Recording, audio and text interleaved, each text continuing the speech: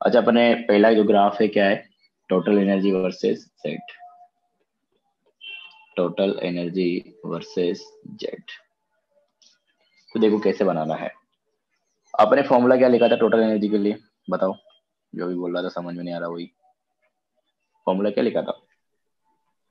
Sir वो एक तो सर माइनस हाफ़ के जेड नहीं टोटल टोटल एनर्जी का फाइनल फॉर्मूला कैलकुलेट करने के लिए जेड और एन के टर्म्स में। सर वो minus thirteen minus thirteen point six into Z square upon minus thirteen point six Z square upon N square final formula ही अपने को यूज़ करना है हमेशा। वो तो अपने डिराइव किया था। जो फाइनल रिज़ल्ट है वो अपने को ध्यान रखना है। और मैं फिर बोल रहा हूँ एटॉमिक स्ट्रक्चर में जो है अपने को फॉर्मूले को शॉर्ट नोट्स की तरह लिखते हुए चलना सारे फॉर्मूले और की पॉइंट्स उनसे रिलेटेड क्योंकि जो क्वेश्चन आएगा, उसका 90 परसेंट चांस है कि क्वेश्चन जो आएगा तुम्हारे पास फॉर्मूला बेस्ड ही आएगा।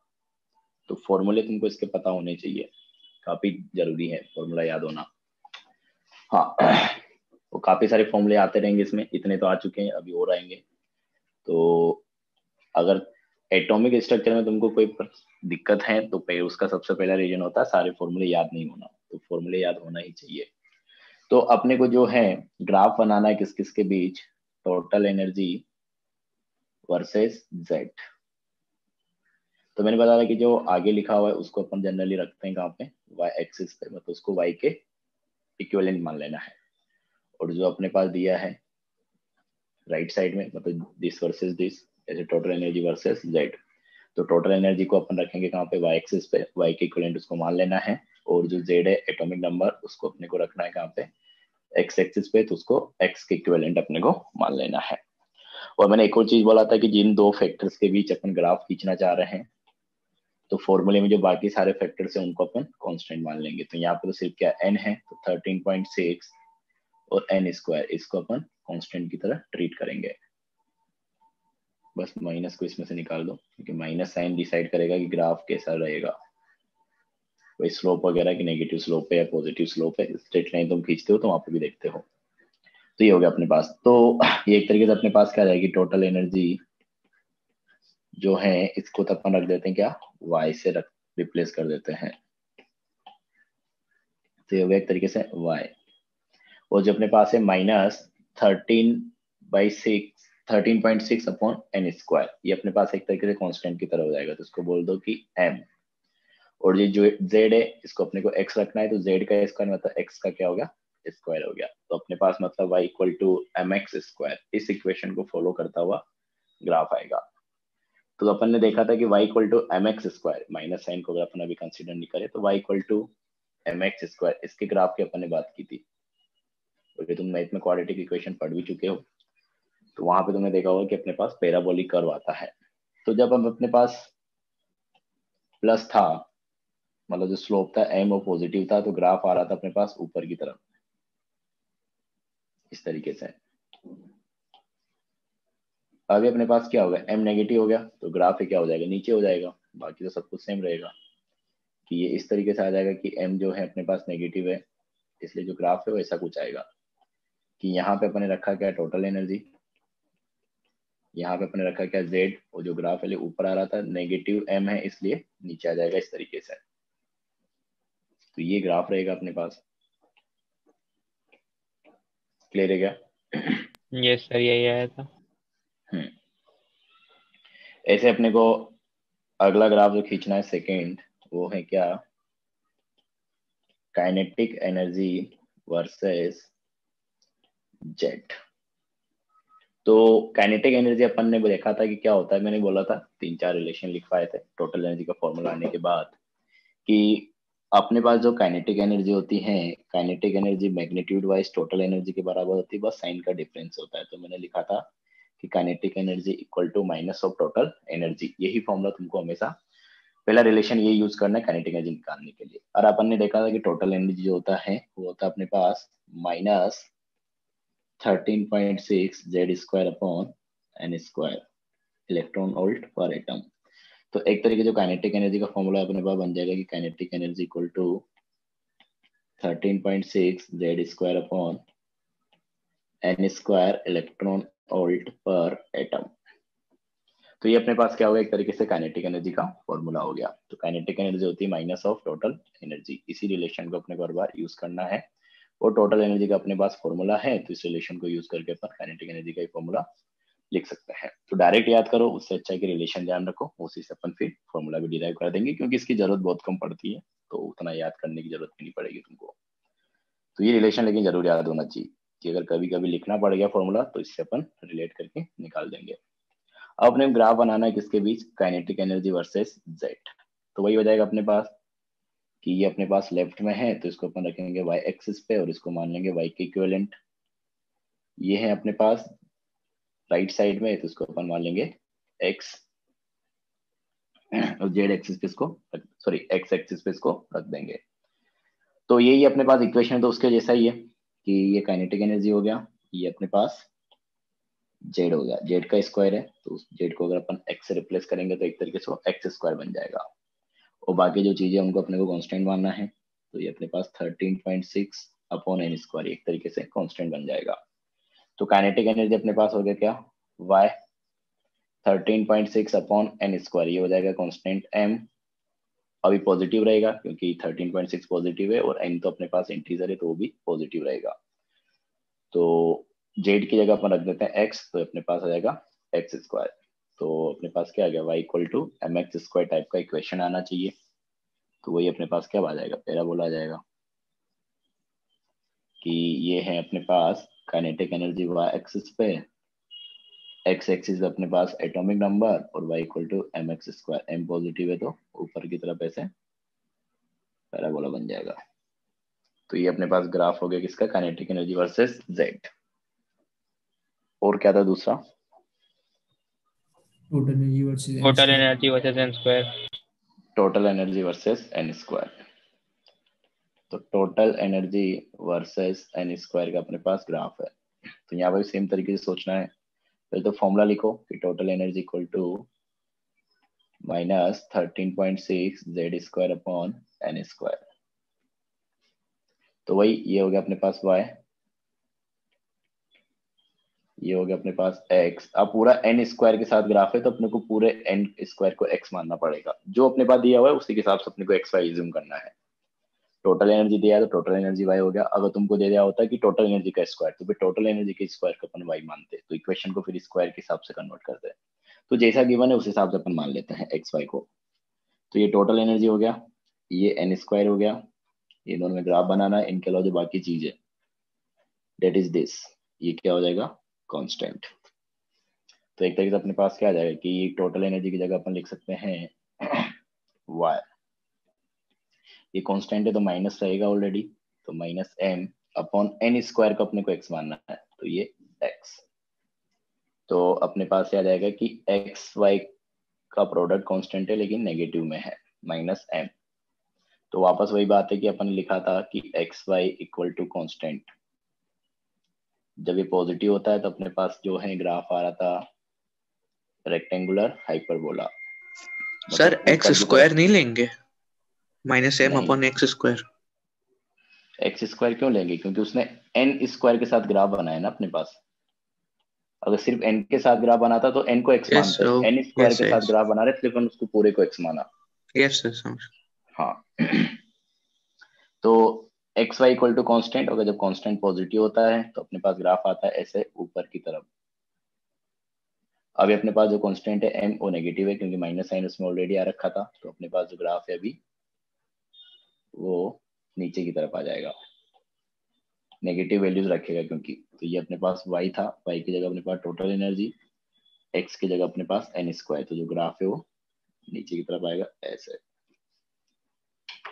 तो ये ग्राफ हो जाएगा अपने पास। तो यहाँ पे साइन को थोड़ा यह ध्यान रखना था तो उसके हिसाब से ग्राफ चेंज हो जाएगा। तो टोटल एनर्जी का जो ग्राफ होता है, उसमें नेगेटिव साइन का रोल आता है तो उस हिसाब से तुमको ग्राफ बनाना आना चाहिए। तो ये ग्राफ हो गया अपने पास। तो ये एनर्जी से रिलेटेड था, लेकिन कुछ पूछना क्या? हाँ तो ये एनर्जी से रिलेटेड डिस्कशन था। अब अपने को क्या करना है? एनर्जी से रिलेटेड डिस्कशन ही थोड़ा सा हाइड्रोजन के बारे में करना है। क्योंकि यहाँ पे अगर तुम देखोगे, एक चीज़ तुमने ध्यान दी होगी कि अपन ने जो एप्लीकेशन ऑफ़ बोर मॉडल पढ़े हैं तो वहाँ पे सबसे पहले जो अपन ने रेडियस का फॉर्मूला कैलकुलेट किया था तो अगर तुमको ध्यान हो तो अपन वहाँ पे क्या बोला था कि अपने पास ये न्यूक्लियस है? और न्यूक्लियस के चारों तरफ़ अपने पास क्या है? एक इलेक्ट्रॉन है जो कि रिवॉल्व कर रहा है। तो अपने पास जो बोहर मॉडल होता है ना, ये सिंगल इलेक्ट्रॉन स्पीसीज के लिए बात करता है सिर्फ़। मतलब ऐसे एटम और आयन के लिए बात कर रहा है, जिनमें सिर्फ़ क्या एक इलेक्ट्रॉन है। क्योंकि अपने जो फोर्स बैलेंस वगैरह लगाया वो यही मान के लगाया कि अपने पास न्यूक्लियस है और न्यूक्लियस से बाहर एक इलेक्ट्रॉन है जो कि सर्कुलर पाथ में रिवॉल्व कर रहा है। तो बोहर ने अपने एप्लीकेशन के जितने भी फॉर्मूले दिए रेडियस वेलोसिटी एनर्जी ये सब अपने पास ऐसे सिस्टम के लिए डिराइव किया उसने कि जिसमें क्या सिर्फ़ एक ही इलेक्ट्रॉन है। तो जो बोर के एप्लीकेशन है वो सिर्फ़ सिंगल इलेक्ट्रॉन स्पीसीज के लिए एप्लीकेबल होते हैं, क्योंकि अगर दो इलेक्ट्रॉन ले लोगे तो फिर तुमको इलेक्ट्रॉन इलेक्ट्रॉन का रिपल्सन भी कंसिडर करना पड़ेगा। तो वैसा तो अपन कोई फैक्टर लिया ही नहीं। तो बोहर मॉडल ऐसे ही स्पीसीज के ऊपर लग पाता है जिनमें या तो एक इलेक्ट्रॉन है मतलब हाइड्रोजन जैसा है या फिर खुद हाइड्रोजन है। तो ये अपने पास ये है कि application of Bohr models are applicable only single electron species जिनमें सिर्फ़ एक इलेक्ट्रॉन है। तो हाइड्रोजन में क्या होता है? एक इलेक्ट्रॉन होता है और बाकी ऐसे आइन जिनमें एक इलेक्ट्रॉन रहेगा। तो मैं हाइड्रोजन की बात कर लूँगा तो बाकी को भी मैं रिलेट कर पाऊँगा उसी के बेसिस पे। तो अपन करने वाले सिंपली ये है कि हाइड्रोजन के लिए अलग अलग सेल की एनर्जी निकालेंगे, उसी के हिसाब से कुछ कुछ डिस्कशन करेंगे तो वो देखते हैं, अभी समझ में आएगा। तो हेडिंग तुम ऐसा कुछ डालो कि energy of energy of various shell या फिर सेल को अपन बोल रहे थे क्या ऑर्बिट या इसी को अपन बोल रहे थे क्या energy level energy levels of hydrogen atom तो हाइड्रोजन एटम के लिए अलग अलग सेल की एनर्जी अपन निकालना चाह रहे हैं। तो सिंपल सा वही फॉर्मूला लगाना है टोटल एनर्जी का अपने को, कि यहाँ पर तुम चाहो तो अपने पास टेबल तरीके से बना दो कि एक तरह लिख लो अपने पास सेल नंबर एन की वैल्यू और यहाँ पे एक तरह अपने पास लिख लो उसका एनर्जी जो क्या जाएगा किसमें? इलेक्ट्रॉन वोल्ट पर एटम में। ठीक है। हाँ तो पहले सेल की अगर अपन बात करें तो जेड तो देखो अपने पास क्या रहेगा? हाइड्रोजन एटम की बात करें तो जेड इक्वल टू तो अपने पास हो गया क्या? वन और अपने पास टोटल एनर्जी का फॉर्मूला है कि total energy equal to point six Z square upon n square electron volt per atom ये है अपने पास फॉर्मूला तो इस फॉर्मूले के हिसाब से अगर अपन देखें तो अपने पास जेड हाइड्रोजन के लिए बात कर रहे हैं तो जेड तो हमेशा वन रहेगा। तो वन का स्क्वायर वन हो गया। अब अपन पहले सेल की बात कर रहे हैं तो एन स्क्वायर ये भी क्या हो जाएगा? वन का स्क्वायर हो जाएगा मतलब वन तो जो एनर्जी आएगी अपने पास, वो कितनी आ जाएगी? ये आ जाएगा माइनस थर्टीन पॉइंट सिक्स मतलब जो हाइड्रोजन का पहला सेल है, उसका एनर्जी कितना होता है? माइनस थर्टीन पॉइंट सिक्स इसी तरीके से दूसरे सेल के लिए बात करोगे तो एन के लिए क्या रखना पड़ेगा तुमको? टू तो टू का स्क्वायर हो जाएगा जेड तो अपने पास अभी भी वन ही रहेगा, क्योंकि हाइड्रोजन की बात हो रहा है। तो minus thirteen point six divided by two का स्क्वायर दैट इज़ फोर तो मतलब minus thirteen point six divided by four हो जाएगा। तो सेकेंड सेल का जो एनर्जी आएगा, अपने पास यहाँ से कैलकुलेट करोगे तो माइनस थ्री पॉइंट फोर इसी तरीके से थर्ड सेल के लिए बात करोगे तो minus thirteen point six into Z square तो जेड मतलब तो क्या हो गया? वन का square divided by n square मतलब थ्री का स्क्वायर दैट इज़ नाइन तो minus thirteen point six divided by nine तो ये अपने पास आ जाएगा minus one point five one इसी तरीके से फोर्थ सेल के लिए निकालोगे तो ये आ जाएगा अपने पास minus zero point eight five और फिफ्थ सेल के लिए निकालोगे तो ये अपने पास आएगा minus zero point five four तो ये पहले पाँच सेल की एनर्जी तो एटलीस्ट तुमको पता होनी चाहिए। इसी तरीके से अपन बाकी के लिए भी बात करना चाहे तो नीचे। तो इससे तुमको क्या हुआ कभी कभी कुछ क्वेश्चन सोल्व करने में हेल्प मिलेगी। वो अपन जब क्वेश्चंस करेंगे तो वहाँ पे मैं तुमको बताऊँगा सीट के क्वेश्चंस वगैरह में कि किस तरीके से तुम जो अपने टेबल याद कर रहे इसके बेसिस पे भी कैलकुलेशंस वगैरह कर सकते हो। तो ये है अपने पास। तो अपन ने हाइड्रोजन के अलग अलग सेल का एनर्जी देखा क्या? हाइड्रोजन का क्यों कर रहे हैं इसमें? हाइड्रोजन का ही क्यों कर रहे हैं? क्योंकि हाइड्रोजन से अपन बाकी का रिलेट कर सकते हैं। वो अपन आगे देखेंगे। अभी तुम ध्यान रखो हाइड्रोजन के लिए बात कर लेते हैं। बाकी को कैसे रिलेट करना है इससे वो भी अपन देख लेंगे। हाँ। तो ये हो गया अपने पास। इसी में अपन कुछ कुछ चीज़ें जैसे डिफाइन करेंगे। ये चीज़ मैंने तुमको पहले भी बताया था, अगर तुमको ध्यान रहा हो तो कि अपन, वैसे अपन पता है कि अपने को सेल को अपन क्या बोलते हैं कि सर्कुलर होता है, कि अपन इस तरीके से दिखाते हैं कि अपने पास जो है ये पहला सेल है, ये दूसरा सेल है, ये तीसरा सेल है, ये चौथा सेल है। तो बार बार ऐसे अपने को सर्कुलर नहीं बनाना पड़े इसलिए अपन, एक जगह मैंने पहले बताया था कि अपन इसे लाइन से भी रिप्रेजेंट कर देते हैं, अगर एनर्जी वाइज अपन बात करें। तो बताया कि जैसे मान लो कि अपने पास एन इक्वल टू वन है, पहला सेल ये अपने पास एन इक्वल टू टू है। सेकेंड सेल ये अपने पास एन इक्वल टू थ्री है। थर्ड सेल ये अपने पास जो एन इक्वल टू फोर है। फोर्थ सेल और ये अपने पास एन इक्वल टू फाइव है। फिफ्थ सेल ठीक है?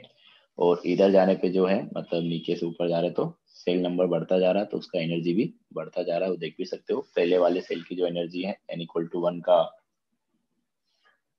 वो अपन ने निकाला था अभी कि एन इक्वल टू वन जो पहला सेल है, इसका एनर्जी अपने पास कितना है? Minus thirteen point six electron volt यहाँ पे एन इक्वल टू टू है तो इसका माइनस में कितना है? थ्री पॉइंट फोर तो ज़्यादा रहेगा। एन इक्वल टू थ्री है तो एन इक्वल टू थ्री अगर अपन देखोगे तो यहाँ पे अपने पास आ रहा है क्या? Minus one point five one electron volt n equal to four है तो यहाँ पे एनर्जी अपने पास आ रहा है कितना? Zero point eight five electron volt और ये अपने पास एन इक्वल टू फाइव है तो ये अपने पास आ रहा है क्या? Zero point five four electron volt तो यहाँ से एक दो चीज़ें तो अपने पास, देखो ये क्लियर हो जाएगी कि इधर जाने अपने पास एनर्जी बढ़ रही पहली बात तो ये हो गया। ये तो ठीक है। हाँ एक चीज़ अपने पास है, अगर तुमको ध्यान हो, जब अपन प्रिंसिपल क्वांटम नंबर पढ़े थे तो अपन देखा था कि जैसे जैसे एन की वैल्यू बढ़ती है, वैसे वैसे अपने पास एनर्जी जो है वो बढ़ती जाती है। तो वो चीज़ तुम इस फॉर्मूले से निकाल सकते हो कि जैसे जैसे एन की वैल्यू बढ़ती जा रही नेगेटिव वैल्यू कम होती जा रही नेगेटिव वैल्यू कम हो रही मतलब एनर्जी बढ़ती जा रही है। ऐसा अपन बोल सकते हैं। एक और चीज़ अपन ने वहाँ पे देखी थी कि जो दो सेल के बीच एनर्जी डिफरेंस होता है ना, वो क्या होता है? कम होता जाता है। मतलब पहले दो सेल के बीच जो एनर्जी डिफरेंस रहेगा that is E two minus E one ध्यान करो अपन ये रिलेशन लिखा था कि पहले दो सेल में जो एनर्जी डिफरेंस रहेगा E two minus E one वो सबसे ज़्यादा रहेगा फिर अगले दो में जो रहेगा E three minus E two वो कम रहेगा फिर अगले दो में E four minus E three वो और कम रहेगा। तो वो चीज़ यहाँ से भी तुम प्रेडिक्ट कर सकते हो। सर कि पहले हाँ। सर एक क्वेश्चन था सर सर हम्म। मतलब एक चीज़ समझ नहीं आ रही सर नेगेटिव एनर्जी का क्या सिग्निफिकेंस होता है? नेगेटिव एनर्जी मतलब वहाँ पर अट्रैक्शन है ना। अच्छा बताया था आपने, ठीक है, ठीक हम्म। तो देखो, पहले दो सेल के बीच अगर एनर्जी डिफरेंस देखोगे तो अपने पास कितना आएगा? कि E two minus E one करोगे तो minus three point four minus उसमें से माइनस करना कितना? माइनस थर्टीन पॉइंट सिक्स तो ये दोनों के बीच जो डिफरेंस आएगा, कितना आएगा? Eight point two electron volt दोनों का डिफरेंस लेना सिंपली तो eight point two electron volt फिर थर्ड और सेकेंड के बीच अगर एनर्जी डिफरेंस लोगे तो ये थर्ड और सेकंड के बीच जो एनर्जी डिफरेंस है, ये अपने पास आएगा कितना? कि minus one point five one में से अगर माइनस कर दोगे माइनस थ्री पॉइंट फोर तो ये अपने पास आ जाना चाहिए कितना? वन पॉइंट एट नाइन एक बार चेक कर लेना, सही निकाल रहा one point eight nine electron volt इसी तरीके से अगर तुम थर्ड और फोर्थ के बीच का एनर्जी डिफरेंस निकालोगे तो ये अपने पास आ जाएगा कि minus zero point eight five में से तुम अगर minus one point five one minus कर दोगे तो ये अपने पास आ जाएगा zero point six six electron volt. ठीक है तो देख सकते हो कि जैसे जैसे अपन ऊपर जाते जा रहे हैं, वैसे वैसे दो सेल के बीच का एनर्जी डिफरेंस कम होता जा रहा है। कि पहले दो सेल के बीच एनर्जी डिफरेंस इतना है, उसके बीच इतना है, फिर और कम है, आगे जाओगे तो और कम होता जाएगा। तो इस तरीके से अपन देख सकते हैं ये चीज़, ठीक है?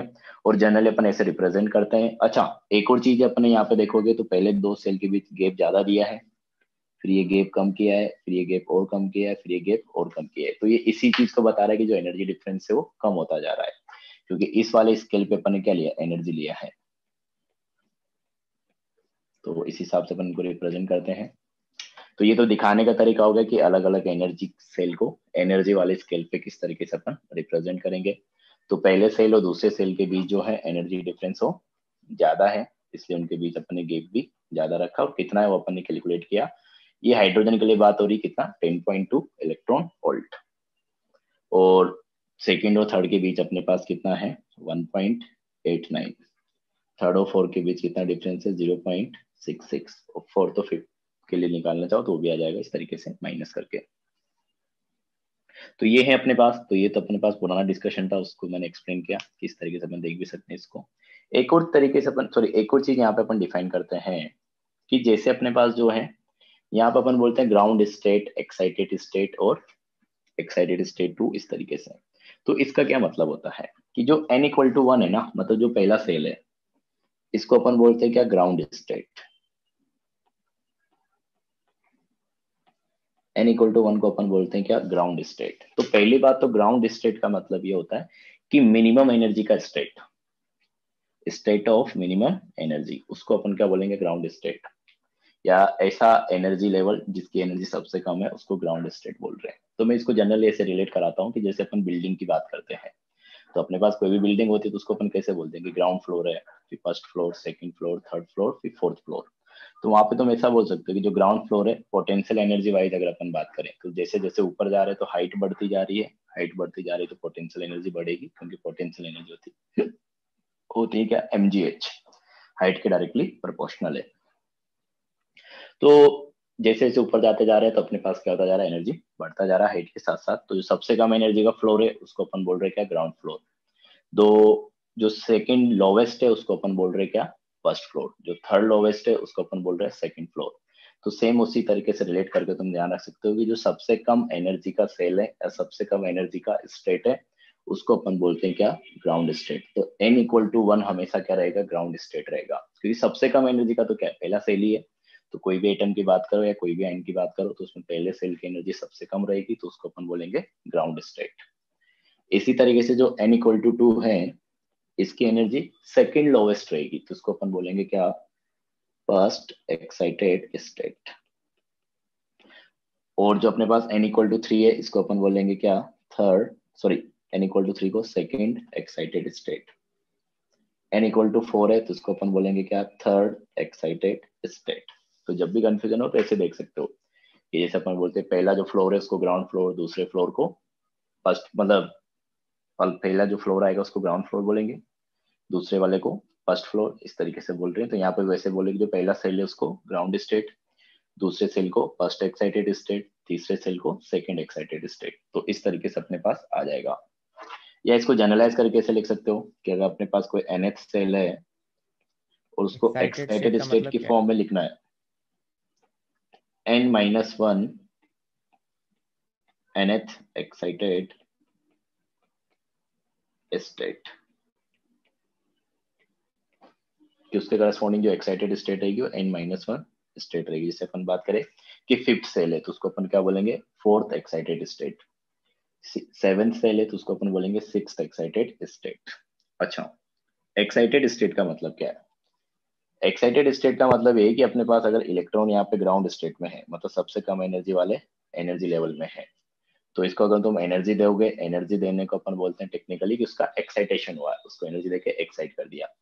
तो इसको एनर्जी देके अपन ऊपर गया ये इस वाली स्टेट में। तो ये सबसे कम एनर्जी का स्टेट है। अगर मैं ग्राउंड स्टेट में एक इलेक्ट्रॉन है अगर उसको मैं क्या करता हूँ एनर्जी देता हूँ तो वो अपने पास क्या होगा कि वन से किसमें जाएगा? टू में जाएगा। तो एक्साइटेशन होने के बाद जो पहली स्टेट में हो जा रहा है वो अपने पास क्या रहेगा हमेशा? एन इक्वल टू टू रहेगा अगर अपन ग्राउंड स्टेट से देखें तो, तो इसलिए अपन उसको बोल रहे फ़र्स्ट एक्साइटेड स्टेट की एनर्जी जो पहला एक्साइटेशन कोई इलेक्ट्रॉन अगर ग्राउंड स्टेट में है तो वो इलेक्ट्रॉन ग्राउंड स्टेट से अगर पहला एक्साइटेशन करेगा तो किसमें जाएगा? एन इक्वल टू टू में जाएगा। तो पहला एक्साइटेशन के करस्पॉन्डिंग जो एनर्जी उसको फ़र्स्ट मतलब जो स्टेट है उसको फ़र्स्ट एक्साइटेड स्टेट बोल रहे हैं। उसको उसके करस्पॉन्डिंग जो एनर्जी आएगा उसको फ़र्स्ट एक्साइटेशन एनर्जी बोल देंगे। तो इस तरीके के ये वर्ड यूज़ करते हैं। समझ में आएगा कुछ?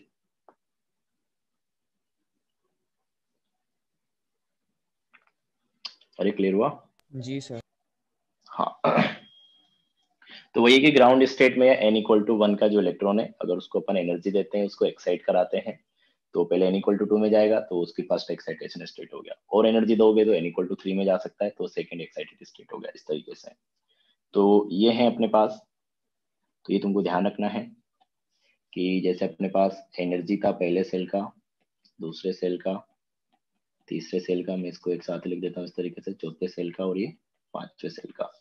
तो जैसे जैसे एन की वैल्यू बढ़ती है, वैसे वैसे अपने बोला कि एनर्जी बढ़ता है। और सबसे कम एनर्जी का जो सेल होता है that is n equal to one first shell इसको अपन बोलते हैं क्या? ग्राउंड स्टेट और जो अपने पास है एन इक्वल टू टू इसको अपन बोलते हैं क्या? फ़र्स्ट एक्साइटेड स्टेट और एन इक्वल टू थ्री इसको अपन बोलते हैं क्या? सेकेंड एक्साइटेड स्टेट और इस तरीके से अपने पास आगे चलता जाएगा। ठीक है? तो अगर अपन डेफिनेशन लिखे तो वही रहेगा अपने पास, जो मैं बोल रहा था कि ग्राउंड स्टेट मतलब सबसे कम एनर्जी का सेल उसको अपन ग्राउंड स्टेट बोलते हैं, क्योंकि इलेक्ट्रॉन जो रहेगा, अगर एक इलेक्ट्रॉन है तो अपने को है कि उसकी स्टेबिलिटी वहाँ पे आएगी जहाँ उसकी एनर्जी सबसे कम रहेगी। तो अगर एक इलेक्ट्रॉन है तो अपने को है कि ग्राउंड स्टेट में ही रहेगा एन इक्वल टू वन में ही रहेगा। अब तुम उसको एनर्जी देके टू में ले जा सकते हो थ्री में ले जा सकते हो फोर में ले जा सकते हो, तुम्हारे ऊपर डिपेंड करता है कि तुम कितना एनर्जी दे रहे हो। तो सबसे स्टेबिलिटी तो जितनी एनर्जी ज़्यादा होती है, उतनी होती है। अगर तुम ये सब पूछ रहे हो तब तो फिर तो कोई फ़ायदा नहीं है पढ़ने का। एनर्जी कम रहेगी तो स्टेप सॉरी एनर्जी ज़्यादा रहेगी तो स्टेबिलिटी ज़्यादा रहेगी। दोबारा सोचो क्या बोल रहे हो तुम? अच्छा ठीक है। हाँ ठीक। हाँ। तो बेसिकली ग्राउंड स्टेट अपन बोलेंगे इसको lowest energy state of any atom and ion. State of any atom और आयन कि किसी भी एटम और आयन में जो सबसे कम एनर्जी का स्टेट होता है, उसको अपन बोलते हैं ग्राउंड स्टेट जैसे अपन बिल्डिंग वाइज बोल रहे थे, सब, जो फ़र्स्ट सबसे नीचे रहेगा, उसका एनर्जी सबसे कम रहेगा तो उसको अपन ग्राउंड फ्लोर बोल रहे हैं। तो उसके ऊपर जो फ्लोर आएगा, वो फ़र्स्ट फ्लोर इस तरीके से बोल रहे हैं। सेकेंड अपने पास इसको कर देते अपन फ़र्स्ट एक्साइटेड स्टेट तो फ़र्स्ट एक्साइटेड स्टेट अपने पास क्या हो जाएगा? सेकेंड लोवेस्ट लिख लो कि so second lowest energy state of any atom और आयन क्योंकि पहले एक्साइटेशन के बाद जो इलेक्ट्रॉन है वो ग्राउंड स्टेट से उसी में जाएगा। तो ये तो अपने पास डेफिनेशन वाइज बात होगी, तुमको डेफिनेशन वाइज कोई कुछ नहीं पूछेगा। तुमको ये पता होना चाहिए कि किस तरीके से अपन ने डिफाइन किया है कि एन इक्वल टू वन मतलब ग्राउंड स्टेट है एन इक्वल टू टू मतलब first excited state n equal to three मतलब सेकेंड एक्साइटेड स्टेट और उसको याद करने के लिए मैंने ये रिलेशन इस तरीके से कुछ लिख दिया है कि एनएथ सेल है या एनएथ एनर्जी लेवल है तो उसका जो करस्पॉन्डिंग एक्साइटेड स्टेट अगर अपने को लिखना है तो जो भी उसके लिए सेल नंबर है उससे कम वाले एक्साइटेड स्टेट रहेगी। जैसे मैंने बोला भी था पहले कि सिक्स सेल है तो फिफ्थ एक्साइटेड स्टेट उसको अपन बोलेंगे। क्योंकि जो एन इक्वल टू वन है, वो ग्राउंड स्टेट हो जा रहा है। तो जो एक्साइटेड स्टेट आ रहा है, वो एन इक्वल टू टू से आ रहा है कि टू पहला एक्साइटेड स्टेट है three second fourth third excited state fifth cell, fourth excited state, sixth cell, fifth excited state, seventh cell, sixth excited state इस तरीके से पूछा है। तो ये हो गया अपने पास। हाँ तो ये अपने पास थोड़ा था इस तरीके से क्योंकि कभी कभी देखो ऐसे बोलेगा तुमको कि इलेक्ट्रॉन जो है इसका मतलब यूज़ क्या है उसकी अपन बात कर ले तो अपने को ऐसे बोलेगा कि इलेक्ट्रॉन एक इलेक्ट्रॉन है वो अपने पास क्या हो रहा है? एट एक्साइटेड स्टेट से सेकेंड एनर्जी लेवल में जा रहा है। कंफ्यूज करने को वैसे दे दे देता है कभी कभी सेकेंड एनर्जी लेवल में जा रहा है। अपने को कंपेयर करेगा कि जब ये एट्थ एक्साइटेड स्टेट्स है सेकेंड एनर्जी लेवल में जा रहा है तो वहाँ पे जो फोटोन आ रहा होगा एनर्जी का उसका फ्रीक्वेंसी कितना रहेगा उसका वेवलेंथ कितना रहेगा या उसका एनर्जी कितना रहेगा उन सब के हाँ। उसका एनर्जी अपन प्रेडिक्ट करेंगे। लेकिन पहला काम अपने पास ये है कि अपने को समझ में आना चाहिए कौन से सेल से वो कौन से सेल में जा रहा है। तो एट्थ एक्साइटेड स्टेट मतलब सेल नंबर नाइन से सेल नंबर टू में जा रहा है, क्योंकि सेल को ही अपन क्या बोलते हैं, energy level. Second energy level या सेकेंड सेल। तो एक तरीके से एन इक्वल टू नाइन से एन इक्वल टू टू में जा रहा है। तो इस तरीके से अपन कभी कभी कंफ्यूज करने के लिए ऐसे बोल देता है।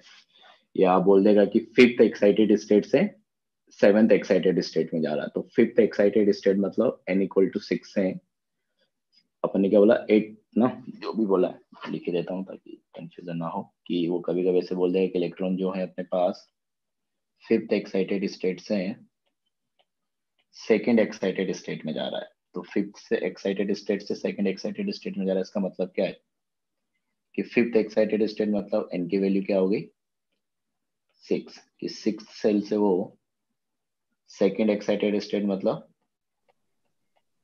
थर्ड सेल में जा रहा है तो सिक्स सेल से वो किसमें गया? थर्ड सेल में गया। तो इस तरीके से अपने को समझ में आना चाहिए। ये अपने लिए ज़्यादा इंपॉर्टेंट है।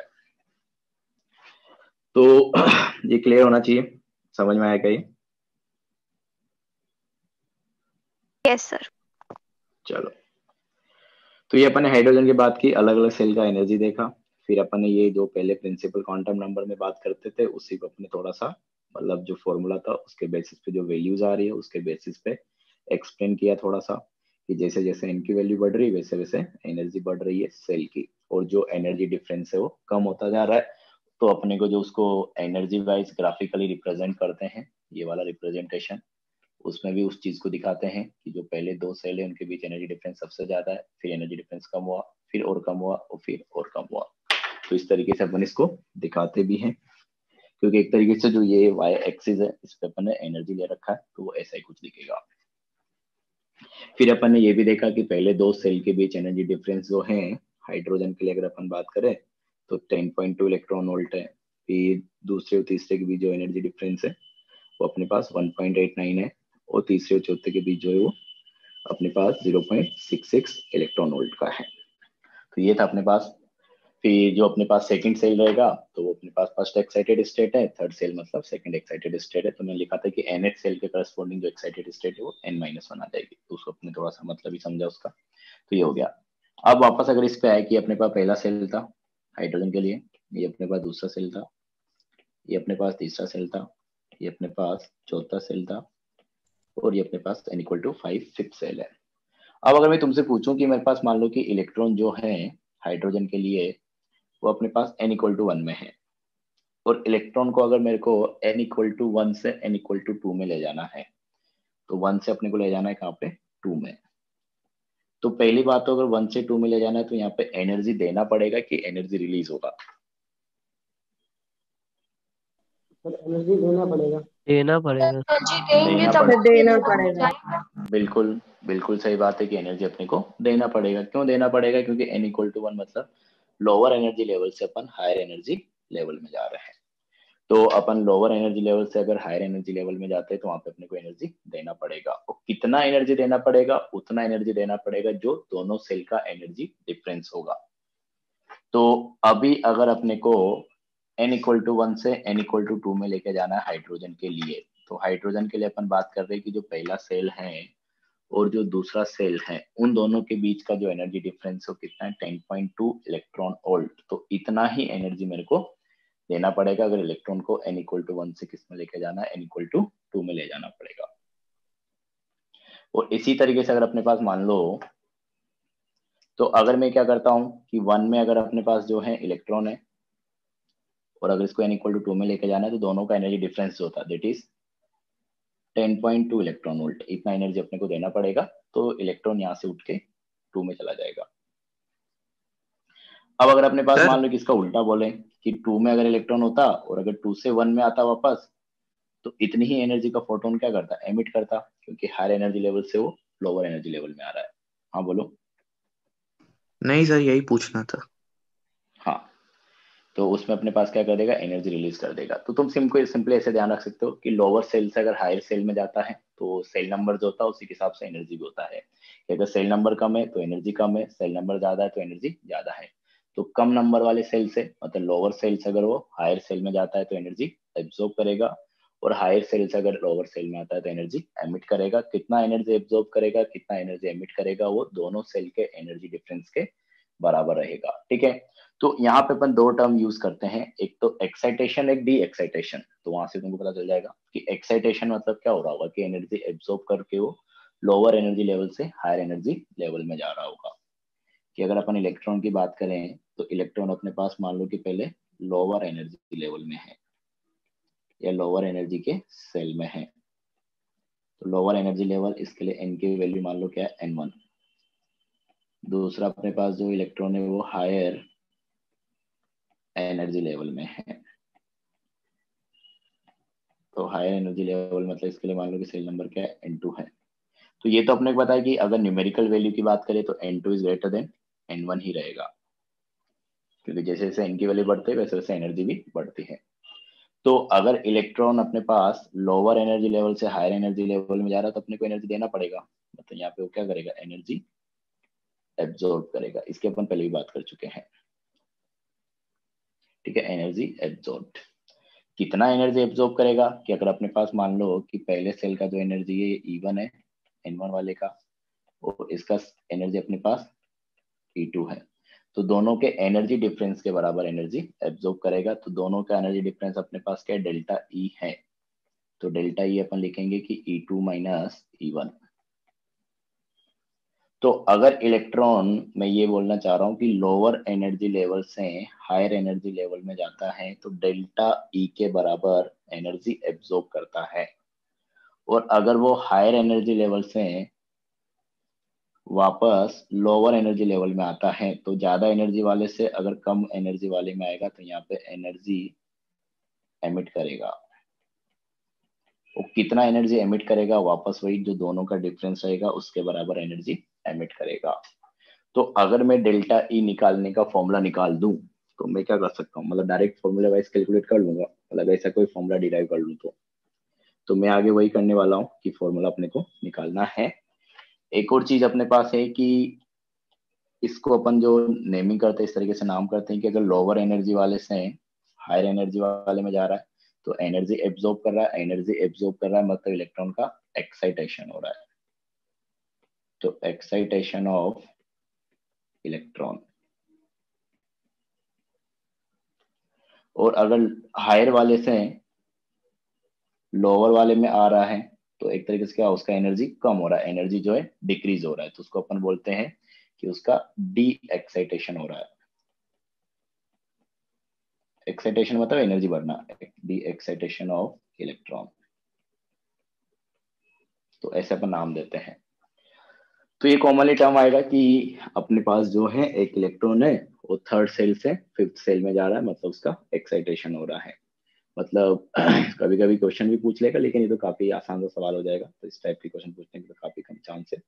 लेकिन फिर भी वो कभी कुछ भी पूछ लेता है। तो ऐसे तो अपने को वो नहीं करना है कि अपने पास पूछ लेगा कि कौन कौन से ट्रांजेक्शन है। जैसे वो तुमको लिख के दे देगा कि इलेक्ट्रॉन अपने पास जो है, कुछ ट्रांजिशन दे देगा कि मान लो कि एक बार टू से वन जा रहा है। एक बार थ्री से फोर जा रहा है, एक बार फाइव से नाइन जा रहा है, एक बार नाइन से मान लो कि वन आ रहा है। तो तुमसे पूछ लेगा कहाँ पे एक्साइटेशन हुआ है, कहाँ पे डी एक्साइटेशन हुआ है। तो इस टाइप के आसान आसान क्वेश्चन बन सकते हैं। या इसी चीज़ को ऐसे पूछ लेगा कहाँ पे एनर्जी एब्जॉर्ब हुआ है और कहाँ पे एनर्जी एमिट हुआ है। तो अपन ये बोल ही चुके हैं कि एनर्जी एब्जॉर्ब कर रहा है मतलब इलेक्ट्रॉन का एक्साइटेशन हो रहा है gain of electron is excitation of electron और अगर एनर्जी एमिट कर रहा है तो उसका डी एक्साइटेशन हो रहा है। तो पहले वाले में क्या होगा अगर टू से वन जा रहा है तो? एमिट होगा। एमिट होगा मतलब उसका डी एक्साइटेशन हो गया। क्योंकि टू मतलब हायर एनर्जी लेवल है वन मतलब लोअर एनर्जी लेवल है तो हायर एनर्जी लेवल से लोअर एनर्जी लेवल में जा रहा है। तो एनर्जी एमिट करेगा मतलब डी एक्साइटेशन हो गया। अगर थ्री से फोर जा रहा है तो? एब्जॉर्ब एब्जॉर्ब करेगा। क्योंकि थ्री मतलब एन की वैल्यू छोटी मतलब लोअर एनर्जी लेवल हो गया। तो ये लोअर एनर्जी लेवल है यहाँ से अपने पास हायर एनर्जी लेवल में गया फोर में तो यहाँ पे एनर्जी एब्जॉर्ब करेगा मतलब एक्साइटेशन हो गया। तो पहला तो ये आ गया जहाँ पे एक्साइटेशन हो रहा है। फाइव से नाइन अगेन क्या होगा? एक्साइटेशन हुआ है। हाँ फाइव से नाइन गया मतलब लोअर एनर्जी लेवल से हायर एनर्जी लेवल गया है। तो ये भी क्या होगा एक तरीके से? एक्साइटेशन इसी तरीके से बात करें नाइन से वन तो नाइन अपने पास क्या है? ज़्यादा एनर्जी का रहेगा एन की वैल्यू बड़ी उसके लिए वन में जा रहा है तो लोअर एनर्जी का हो गया। तो हायर से किसमें जा रहा है? लोअर में जा रहा है तो वहाँ पे क्या होगा? डी एक्साइटेशन तो इस तरीके भी क्वेश्चन पूछ लेता है। या इंटीजर टाइप में पूछ लेगा कि कितने पेयर है जिनमें अपने पास एक्साइटेशन हो रहा है या कितने पेयर है जिनमें अपने पास डी एक्साइटेशन हो रहा है। तो इस तरीके के क्वेश्चन आ जाते हैं। तो ये भी समझ में आने चाहिए। छोटे छोटे क्वेश्चन से लेकिन पूछे जा सकते हैं। तो इसके अपन ने बात किया कि इलेक्ट्रॉन का ट्रांजिशन किस तरीके से होगा लोअर एनर्जी लेवल से हायर एनर्जी लेवल तो लोअर से हायर में जा रहा था एब्जॉर्ब करेगा, उसको एक्साइटेशन बोलते हैं। हायर से लोअर में आ रहा था, उसको एनर्जी एमिट करेगा तो उसको डी एक्साइटेशन बोल रहे हैं। वो कितना एनर्जी एब्जॉर्ब होगा, कितना एमिट होगा, वो दोनों के एनर्जी डिफरेंस के बराबर रहेगा दैट इज़ डेल्टा ई तो अपना काम यही है कि अपने को डेल्टा ई e निकालना है।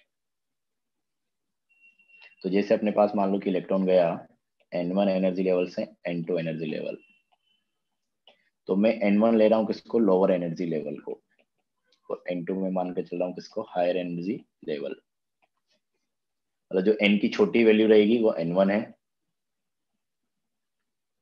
चाहो तो इसको ऐसे लिख लो कि जो छोटी वैल्यू है वो अपने को N1 के लिए N1 ही मानना है हमेशा। और जो अपने पास बड़ी वाली वैल्यू है उसको अपने को एन टू मानना है।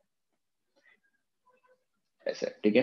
कहीं से कहीं जा रहा हो फॉर्मूले अपन ऐसे रखेंगे। एन वन मतलब छोटा वाला वैल्यू एन टू मतलब बड़ा वाला वैल्यू जब भी अपन फॉर्मूला लिख रहे होंगे या उसमें वैल्यू पुट कर रहे होंगे तब। तो जो एन वन था, इसके करस्पॉन्डिंग एनर्जी अपने पास ई e वन बोल दो और इसके करस्पॉन्डिंग एनर्जी अपने पास ई e टू बोल दो। तो अपने को बताया, चाहे एन वन से एन टू जाए, चाहे एन टू से एन वन आए। तो एनर्जी एमिट एब्जॉर्ब जो भी होगा मैग्नीट्यूड वाइज डेल्टा ई रहेगा और डेल्टा ई e जो रहेगा अपने पास E two minus E one रहेगा। और इसकी एनर्जी जो है मैं ई वन इसको ऐसे लिख सकता हूँ क्योंकि अपन एक ही एटम के अंदर बात कर रहे हैं। तो उसके लिए कुछ एटॉमिक नंबर रहेगा जेड और अपने बताइए जो टोटल एनर्जी होता है टोटल एनर्जी अपने पास होता है कि minus thirteen point six into Z square upon n square unit electron volt पर एटम की एक एटम के लिए इतनी आ जाएगी। तो अपने पास अगर ई e वन लिखना है तो एन वन आ जाएगा, क्योंकि जेड तो सेम है, एक एटम के अंदर बात हो रही है, और अगर ई e टू लिखना है तो उसकी जगह एन टू आ जाएगा। तो वही अपन करने वाले हैं कि सेकंड जो एन टू वाला था, उसका एनर्जी आ जाएगा minus thirteen point six Z square upon n two का स्क्वायर माइनस ऑलरेडी था ई e वन के लिए भी एक और माइनस आएगा, कि minus thirteen point six Z square upon n one का स्क्वायर इस तरीके से। सिंप्लीफाई करना पड़ेगा। तो देखो यहाँ पे क्या करेंगे अपन कि ये माइनस माइनस क्या बन जाएगा? प्लस बन जाएगा। यहाँ पे देखोगे तो मल्टीप्लाई होने के बाद तो मैं डायरेक्ट लिखूं तो ऐसा कुछ आ जाएगा। चलो पूरा लिख लेते हैं कि delta equal to minus thirteen point six Z square upon n two का square plus thirteen point six Z square upon n one का स्क्वायर तो कॉमन टर्म को साइड ले लो मतलब थर्टीन पॉइंट सिक्स और जेड स्क्वायर ये तो बाहर आ जाएगा तो इसको अपन ऐसा लिख सकते हैं, देखो कैसे। कि delta E equal to thirteen point six Z square one upon positive क्या था एन वन तो उसको पहले ले लो तो एन वन का स्क्वायर माइनस नेगेटिव क्या था एन टू तो वन अपॉन एन टू का स्क्वायर तो ये फॉर्मूला अपने को जो यूज़ करना है, जब भी electron n one energy level से कहाँ पे जाएगा? एन टू एनर्जी लेवल में जाएगा। तो अपन डायरेक्ट इस फॉर्मूले को यूज़ करेंगे कि एनर्जी डिफरेंस ये रहेगा। तो delta E equal to thirteen point six Z square one upon n one का square minus one upon n two का स्क्वायर ये फॉर्मूला तुमको ऐसे ही याद रखना है। और यहाँ पे जैसे मैंने बोला कि जो एन वन है, ये छोटी वैल्यू रहेगी और जो एन टू है, ये बड़ी वैल्यू रहेगी। तो मैं ऐसा बोल सकता हूँ कि हमेशा अपने को n one is less than n two लेना है। तो ऐसा करने का फ़ायदा ये है देखो कि अपने पास जो यहाँ से आएगा ना यहाँ से सिर्फ़ मैग्नीट्यूड निकल के आएगा और वो अपने पास पॉजिटिव आएगा। तो अपने पास यहाँ पे अपन वैल्यू निकाल सकते हैं कि जो डिफरेंस है वो इतना है दोनों के बीच का वो पॉजिटिव आएगा हमेशा। अब साइन तो अपने पास सिर्फ़ ये बता रहा था कि एक्साइट मतलब एनर्जी एमिट हुआ या एनर्जी एब्जॉर्ब हुआ है तो, तो मैं देख के बता पा रहा हूँ।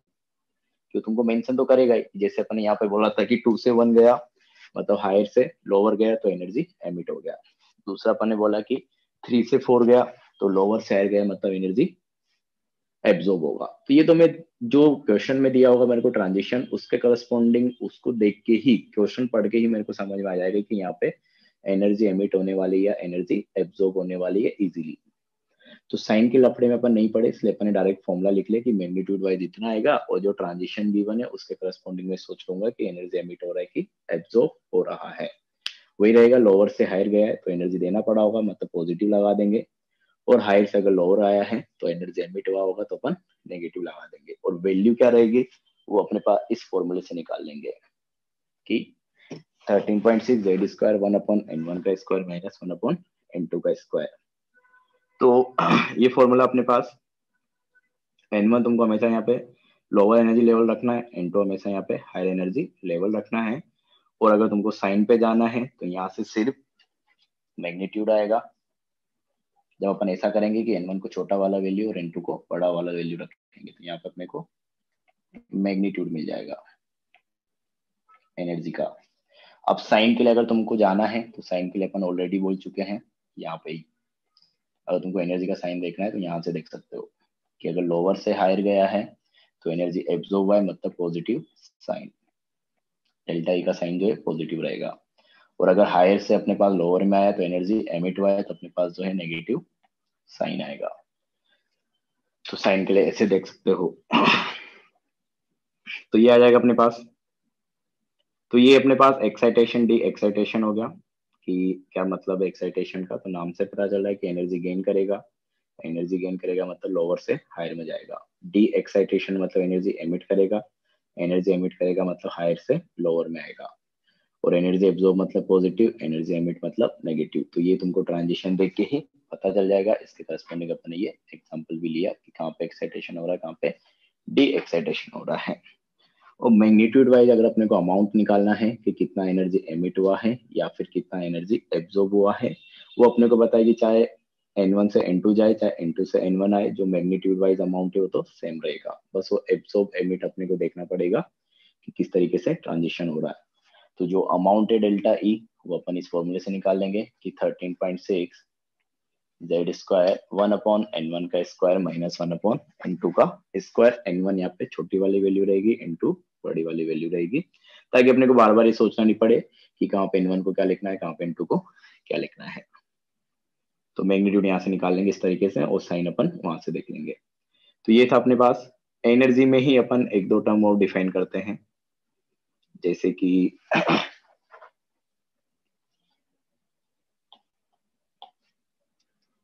तो एक काम करो, मैं एक इमेज भेज रहा हूँ ग्रुप पे। तुमको मतलब शॉर्ट नोट्स टाइप से जो फाइनली याद रखनी चीज़ें वो इतना सा है बस, जो मैं इमेज भेज रहा हूँ।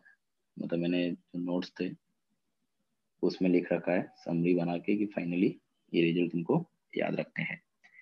तो उसका इमेज में भेज दे रहा हूँ तो उसको भी थोड़ा एक्सप्लेन कर देता हूँ। उसी के हिसाब से तुम लास्ट में फिर लिख लेना इसको। एस फोर है ना? हाँ। तो देखो मैंने तुमको फ़ोटो भेजा है तो इसमें देखोगे तो वही है कि if transition of electron occur from n one state to n two state then energy change इस फॉर्मूले से अपन निकाल लेंगे। और उसमें लिख रखा है where n one is lower energy level n two is higher energy level मैंने साइड में लिख रखा है कि n one is less than n two मतलब एन वन छोटा वैल्यू एन टू बड़ा वाला वैल्यू है। और फॉर्मूले के ब्रैकेट में लिख रखा है कि यहाँ से अपन मैग्नीट्यूड निकाल लेंगे।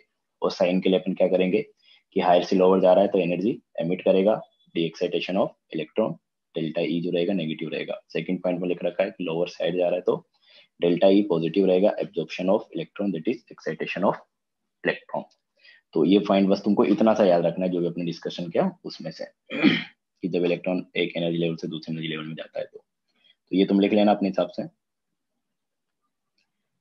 क्योंकि वही है कि फाइनल रिज़ल्ट तुम्हारे लिए ज़्यादा इंपॉर्टेंट है, बाकी किसी भी चीज़ से। लेकिन वो भी समझ में आना चाहिए किस तरीके से निकाला है, तभी चीज़ें एकदम से क्लियर हो पाती है। तो ये हो गया अपने पास। नेक्स्ट जो है, इसी में कुछ कुछ एनर्जी टर्म अपने को और डिफाइन करने हैं अभी कि जैसे अपने पास जो है आयोनाइजेशन एनर्जी यहाँ पे भी अपन आयोनाइजेशन एनर्जी डिफाइन करेंगे, देखो किस तरीके से। तो वैसे ही करेंगे जैसे पहले कर रहे थे। आयोनाइजेशन एनर्जी तो कभी कभी ये भी कैलकुलेट करवा देता है।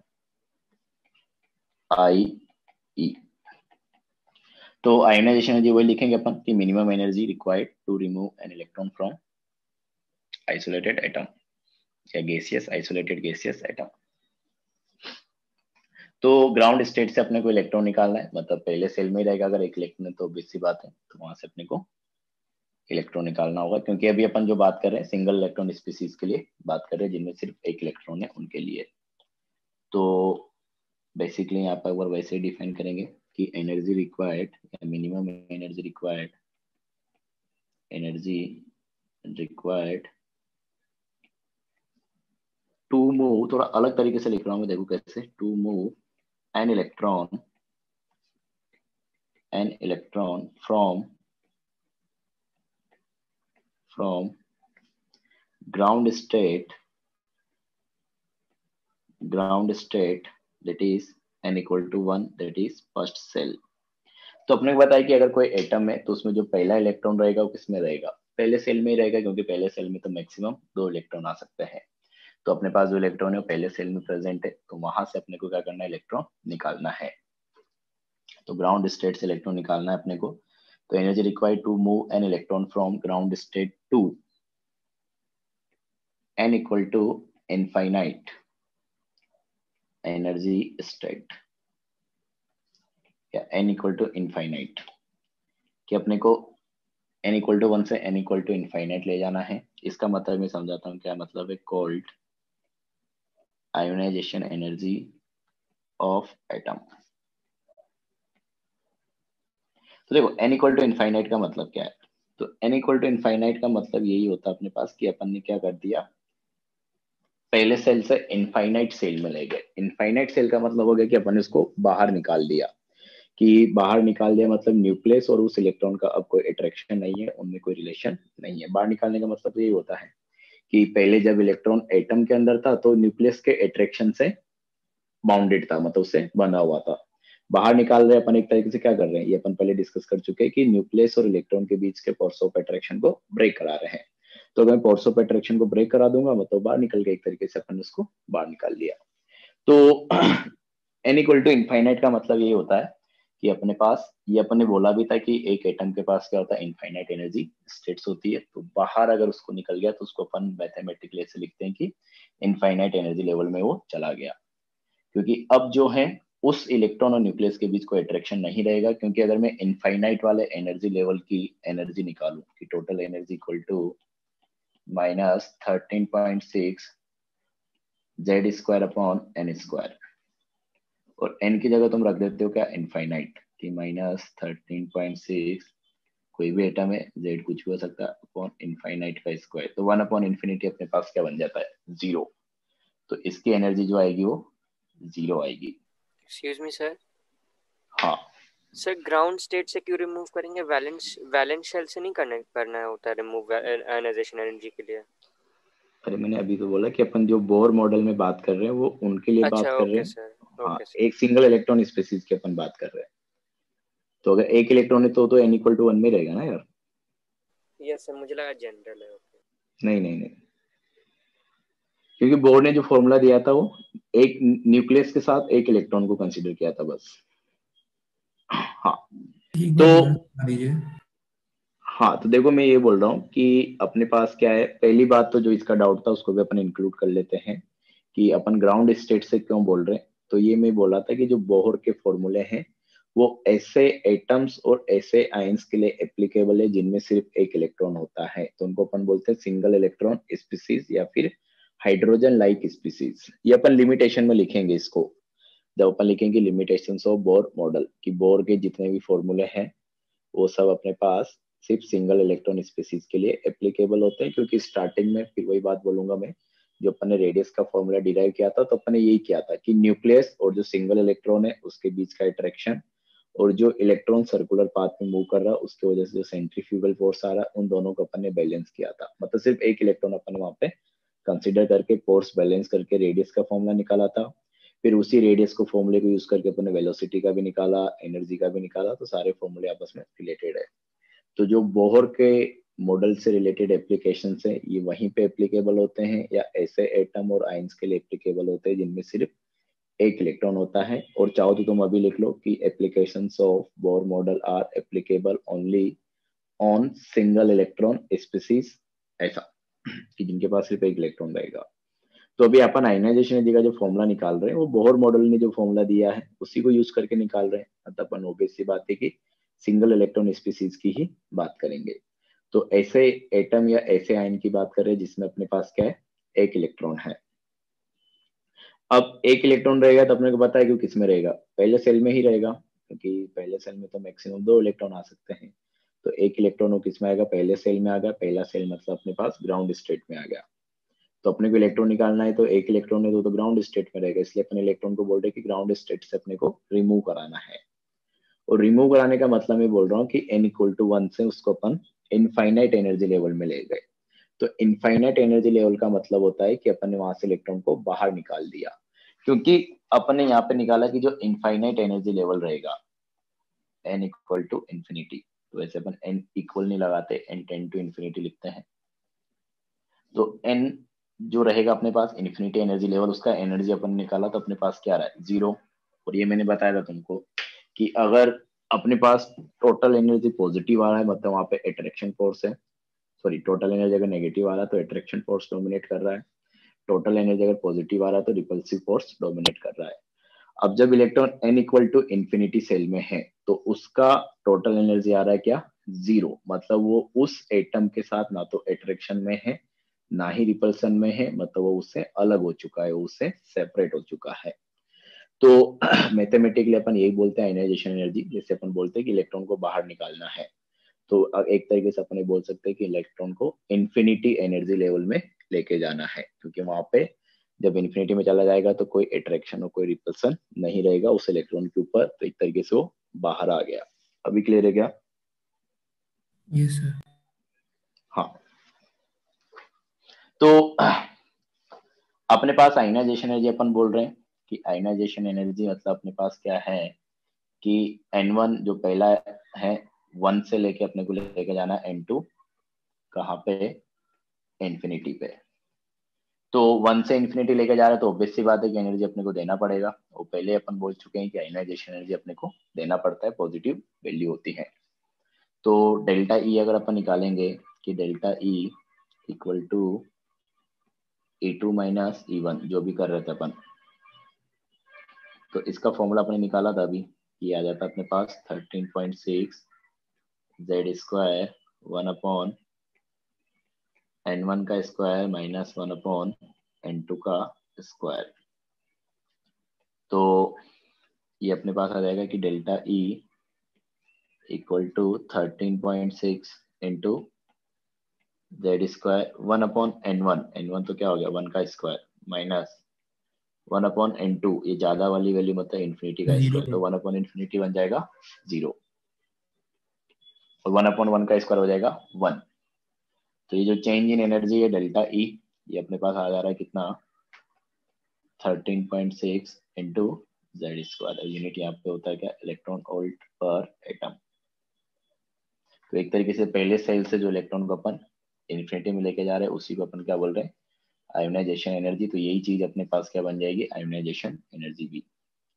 तो आयोनाइजेशन एनर्जी का फॉर्मूला अपने पास हो जाएगा कि ionization energy equal to thirteen point six Z square electron volt पर एटम लेकिन यहाँ पे ये नहीं भूलना है कि ये फॉर्मूला अपने पास किसके लिए सिंगल इलेक्ट्रॉन स्पीसीज के लिए है। मतलब ग्राउंड स्टेट से अपन इलेक्ट्रॉन को निकाल रहे हैं और इलेक्ट्रॉन सिर्फ़ क्या एक ही है। तभी ये फॉर्मूला लगेगा। ऐसा नहीं कि कहीं पे भी अपन ये फॉर्मूला लगा दिया। तो जब अपने पास क्या करेगा? लास्ट इलेक्ट्रॉन रहेगा किसी भी स्पीसीज में। लास्ट इलेक्ट्रॉन मतलब वो एक ही रहेगा। तो उसको निकालने के लिए तुम लगा सकते हो कि ये फॉर्मूला लगेगा। जैसे हाइड्रोजन है तो हाइड्रोजन अपने पास क्या होता है? एक ही इलेक्ट्रॉन होता है। तो हाइड्रोजन के इलेक्ट्रॉन को निकालने के लिए कितना एनर्जी देना पड़ेगा? क्योंकि एक इलेक्ट्रॉन है तो पहले सेल में रहेगा और सिंगल इलेक्ट्रॉन है तो ये फॉर्मूला अपन लगा सकते हैं। इसी तरीके से अगर अपन बात करें अच्छा इसकी थोड़ी सी बात कर लेते हैं, क्योंकि इसमें कंफ्यूजन हो जाता है कि सिंगल इलेक्ट्रॉन की अपन बात करें तो जैसे अपने पास एच ई है तो हीलियम के लिए ये फॉर्मूला नहीं लगेगा, क्योंकि हीलियम में दो इलेक्ट्रॉन है। तो हीलियम का अगर तुम एक इलेक्ट्रॉन निकालने जा रहे हो तो उसके लिए नहीं लगेगा, लेकिन अगर तुम एच प्लस की बात करो तो एच प्लस आयन जो है, इसमें अब बचा क्या एक इलेक्ट्रॉन अच्छा इससे अच्छे से ऐसे एक्सप्लेन कर सकते हैं। देखो कैसे। ऐसे क्वेश्चन भी बन जाएगा, उसको मैं तुमको एक्सप्लेन कर दूँगा। कि एच से अपन ने मान लो कि इलेक्ट्रॉन निकाला, क्योंकि अपन आयनाइजेशन जी तो पढ़ ही चुके हैं तो ये अपने पास बनेगा क्या? एच प्लस तो एच में तो अपने को है कि यहाँ पे क्या थे? दो इलेक्ट्रॉन थे। तो जो बोर मॉडल से अपन आयनाइजेशन जी का फॉर्मूला निकाला है तो वो तो अपने पास सिंगल इलेक्ट्रॉन स्पीसीज के लिए एप्लीकेबल है मतलब यहाँ पे तो नहीं लगेगा। और यहाँ पे जो एनर्जी आएगा अपने पास क्या आएगा? आयनाइजेशन एनर्जी वन तो ये अपन उस फॉर्मुले से नहीं निकाल सकते क्योंकि ये अपने पास सिंगल इलेक्ट्रॉन स्पीसीज नहीं है मल्टी इलेक्ट्रॉन स्पीसीज हो गया एक तरीके से क्योंकि इसके पास दो इलेक्ट्रॉन है। लेकिन एच प्लस की अपन बात करें तो अब तो इसके पास क्या रहेगा? एक इलेक्ट्रॉन रहेगा और एक इलेक्ट्रॉन है तो पहले सेल में रहेगा ऑब्वियस सी बात है क्योंकि सबसे कम एनर्जी का सेल तो वही है। इसमें लगा तो- अब। हाँ वही मैं बोल रहा हूँ। कि अपने पास एक इलेक्ट्रॉन रह गया। अब अगर मेरे को एच प्लस में से इलेक्ट्रॉन निकालना है तो उसको अपन बोलेंगे तो आयनाइजेशन एनर्जी टू जो अपन नॉर्मल बोलते थे। अगर हीलियम के हिसाब से बात करें तो कि हीलियम का वो आयनाइजेशन एनर्जी टू हो गया। और एच प्लस का तो आयनाइजेशन एनर्जी वन ही है, क्योंकि उससे तो पहला इलेक्ट्रॉन निकल रहा है। कभी कभी ऐसे भी डिफाइन कर देता है कि ये एक तरीके से जो इस स्टेप में एनर्जी होगा, उसको अपन क्या बोलेंगे? ध्यान से समझना। कि ये जो अपन अगला स्टेप कर रहे हैं एच ई प्लस से इलेक्ट्रॉन निकाल रहे हैं। तो एच ई प्लस से इलेक्ट्रॉन निकालने का मतलब एक तो ये हो गया कि ionization energy two of helium क्योंकि हीलियम के हिसाब से देखोगे तो सेकंड इलेक्ट्रॉन निकल रहा है क्योंकि पहला इलेक्ट्रॉन निकला तो एच प्लस बना। एच प्लस से दूसरा इलेक्ट्रॉन निकलेगा तो अपने पास एच प्लस टू बनेगा। और अगर सिर्फ़ में, अगर सिर्फ़ में एच प्लस के हिसाब से बात करता हूँ, इस आयन के हिसाब से तो मैं बोलूँगा कि एच प्लस में से तो पहला इलेक्ट्रॉन निकल रहा है। तो इसको अपन ये भी बोल सकते हैं कि ionization energy one of H plus तो कभी कभी ऐसे क्वेश्चन भी आते हैं तो इसमें भी कंफ्यूज नहीं होना है। वन मतलब जिसका वन की बात कर रहा है, उसमें से इलेक्ट्रॉन निकाला जा रहा है। हाँ तो यहाँ पे अपने जो इलेक्ट्रॉन निकल रहा है, अभी तो अपन इस पे आ जाते हैं। तो इलेक्ट्रॉन जो निकल रहा है एच प्लस से निकल रहा है तो उसके पास एक इलेक्ट्रॉन है मतलब ये क्या है, अपने पास सिंगल इलेक्ट्रॉन स्पीसीज तो सिंगल इलेक्ट्रॉन स्पीसीज है तो यहाँ पे जब एच से इलेक्ट्रॉन निकालेंगे तो अपने पास बनेगा क्या? एच ई प्लस टू तो इस केस में अपन क्या कर सकते हैं? फॉर्मूला लगा सकते हैं वो वाला कि thirteen point six into Z square electron volt पर एटम या पर आयन जो भी बोलो। हाँ अब बोलो। सर हीलियम में दो प्रोटॉन्स होते हैं। और सर अगर हमने हाँ। एक इलेक्ट्रॉन निकाल दिया और एक इलेक्ट्रॉन जो बचा हुआ है उस पर ये फॉर्मूला लगाएँगे तो आयनाइजेशन एनर्जी ज़ीरो आ जाएगा। पर सर ऐसा कैसे हो सकता है? क्योंकि सर दो प्रोटॉन ज़्यादा अट्रैक्ट करेंगे इलेक्ट्रॉन्स को। ज़ीरो क्यों आ जाएगा? Sir ionization potential sir ionization energy तो ज़ीरो आएगा ना मतलब Z square upon infinity square नहीं नहीं आयनाइजेशन का फॉर्मूला अपने तो ये लिखा है ना इसमें तो एन की तो कोई रोल ही नहीं है। नहीं समझा तुम क्या बोलना चाह रहे हो। मैं दोबारा रिपीट करो डाउट क्या था तुम्हारा? सर आपने बोला ना कि आयनाइजेशन एनर्जी मतलब अगर सिंगल इलेक्ट्रॉनिक स्पीशीज पे लगाएँगे तो वो ज़ीरो हो जाएगा। ज़ीरो का कहाँ बोला मैंने? ज़ीरो हो जाएगा। मैंने तो ये बोला कि अपन सिंगल इलेक्ट्रॉन स्पीसीज की बात कर रहे हैं तो एन इक्वल टू वन से इलेक्ट्रॉन को निकालेंगे क्योंकि एक इलेक्ट्रॉन जो है पहले सेल में रहेगा। और इलेक्ट्रॉन को पहले सेल से अपन इंफिनिटी वाले एनर्जी लेवल में ले जा रहे हैं। इंफिनिटी वाला जो एनर्जी लेवल है इसका एनर्जी ज़ीरो है। अच्छा यस सर ओके सर उसके लिए एनर्जी कितना चाहिए होगा वन से इन्फिनिटी ले जाने पे वो अपने पास इस फॉर्मूले से आएगा। ओके सर वो कंफ्यूज हो। गई ओके कोई नहीं। हाँ ये क्लियर आएगा मैंने अभी जो तुमको समझाया ये सब लोगों को कि एच Yes, से एच. प्लस यस हाँ तो ये ऐसा एक क्वेश्चन पूछा जा चुका है पहले एट जेई एडवांस में। तो उसने पता है क्या किया था? ये अच्छा क्वेश्चन था उस टाइम पे। अभी तो क्या करते हैं क्लास में करा देते हैं सीट मॉड्यूल में मिल जाता है तो तुमको आसान लगेगा। और मैंने जैसे एक्सप्लेन कर दिया तब करोगे तो हो जाएगा। उसने क्या किया था? आयनाइजेशन एनर्जी वन की वैल्यू दी थी हीलियम के लिए। और आयनाइजेशन एनर्जी टू की वैल्यू नहीं दी थी। ठीक है? और उसने सीधा पूछा था कि अगर मेरे को हीलियम से दोनों इलेक्ट्रॉन निकालने हैं तो कितना एनर्जी मेरे को देना पड़ेगा? तो अगर दोनों इलेक्ट्रॉन निकालने हैं तो मेरे को पता है कि पहला निकालने का आयनाइजेशन एनर्जी वन चाहिए, दूसरे के लिए आयनाइजेशन एनर्जी टू चाहिए। तो वन का वैल्यू तो उसने दे दिया था टू का उसने नहीं दिया था। तो कुछ लोगों ने तो ऐसे ही छोड़ दिया कि डेटा अपने को गिवन नहीं है, वैसे तो ऐड करना है। तो ये देख रहे हो पीरियोडिक टेबल से सीधा उसने एटॉमिक स्ट्रक्चर में लिंक कर दिया। तो ये इतना दिमाग लगाना तुमको कि एच से एच प्लस बना तो एच प्लस हो गया सिंगल इलेक्ट्रॉन स्पीसीज तो उसके लिए अपन ये फॉर्मूले से निकाल सकते हैं कि ये वाला फॉर्मूला लगा के आ जाएगा। तो ऐसा क्वेश्चन तुमको कहीं ना कहीं मिलेगा तो वहाँ पे तुम देख सकते हो। तो ये था अपने पास अच्छा क्वेश्चन बन जाता है इस तरीके से। तो ये हो गया अपने पास आयोनाइजेशन एनर्जी को कैसे डिफाइन किया सिंगल इलेक्ट्रॉन स्पीसीज के लिए ही क्यों बात कर रहे हैं कि ये फॉर्मूला लगेगा। तो ये सब हो गया। ये पॉइंट तुम लिख ही लो, इसको अपन बाद में भी लिख लेंगे भले कि एप्लीकेशन ऑफ़ बोर मॉडल जो फॉर्मूला वगैरह लिखा अपन Bohr's model applications of Bohr model are applicable applicable only on single electron single electron species. कि सिर्फ़ सिंगल इलेक्ट्रॉन स्पीसीज पे एप्लीकेबल होता है? मतलब जिनके पास सिर्फ़ एक इलेक्ट्रॉन है। अच्छा एक और चीज़ है कि जो सिंगल इलेक्ट्रॉन स्पीसीज होती हैं, इनको अपन एक और नाम देते हैं। कि एक इलेक्ट्रॉन है तो अपने है कि हाइड्रोजन में क्या होता है? एक इलेक्ट्रॉन होता है जिनको अपन भी बोल देते हैं, हाइड्रोजन लाइक स्पीसीज के हाइड्रोजन जैसा। मतलब एक इलेक्ट्रॉन इस हिसाब से अपन नाम देते हैं सिंगल इलेक्ट्रॉन स्पीसीज या हाइड्रोजन लाइक स्पीसीज तो तुमको पास ऐसे एटम एटम तो एक ही आएगा ओबीसी बात है हाइड्रोजन हाइड्रोजन ही ऐसा एलिमेंट है जिसके पास एक इलेक्ट्रॉन होता है। तो एटम में तो हाइड्रोजन आ गया, और आयन की अपन बात करोगे तो ऐसे आयन्स जिसमें अपने पास क्या रहेगा? एक इलेक्ट्रॉन रहेगा, उनके लिए लगेगा। तो बहुत बार ये भी क्वेश्चन पूछा गया है कि चार एक मतलब चार आयन दे देगा और तुमसे पूछेगा कि किसके लिए? बोर मॉडल एप्लीकेबल है और किसके लिए नहीं है। तो ये भी अपन एक क्वेश्चन कर लेते हैं इस तरीके से भी। कि जैसे अगर मैं तुमसे पूछूँ कि यहाँ पे कुछ आयंस दे रहा हूँ, तुमको बताना है किसके लिए बोर मॉडल अपन लगा सकते हैं और किसके लिए नहीं लगा सकते।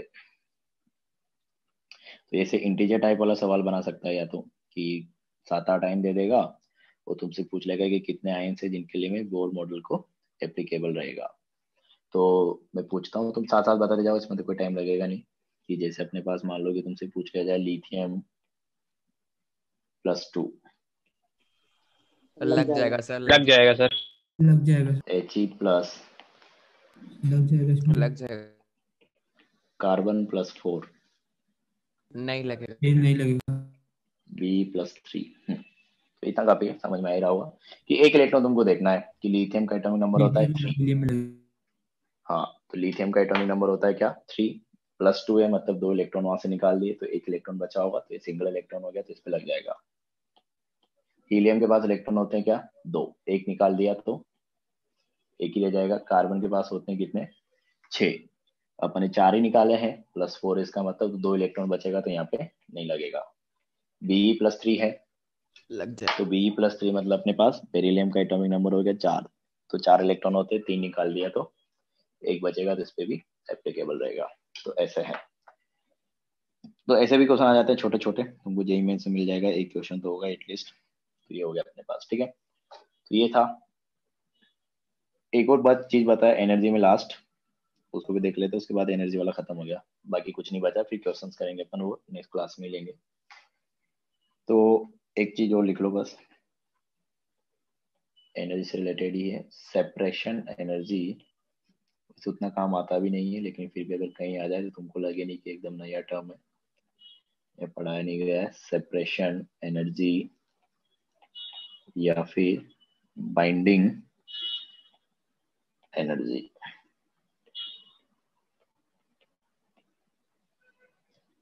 हाँ तो इसका क्या मतलब है? पहले डेफिनेशन लिखते हैं, तब थोड़ा क्लियर हो।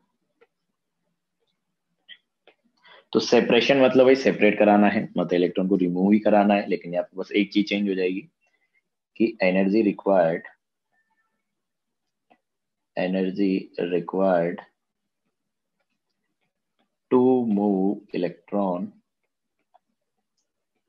to move electron from any state, from any state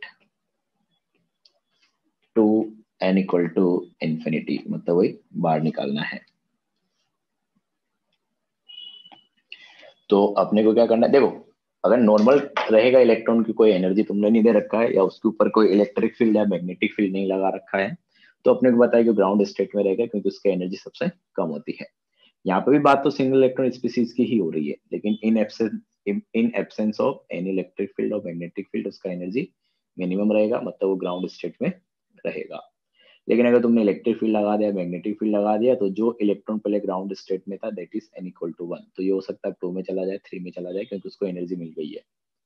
और अगर कंटिन्यू एनर्जी मिलती रहेगी उस अमाउंट में तो वहीं पे प्रेजेंट रहेगा। तो मतलब वो electron N equal to one में नहीं है, उसके अलावा किसी और पे है।